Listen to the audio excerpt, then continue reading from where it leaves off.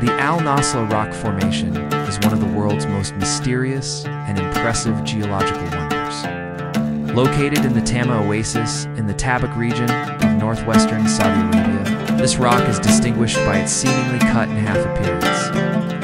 With a perfectly straight vertical split down the middle, dividing the massive stone into two symmetrical sections.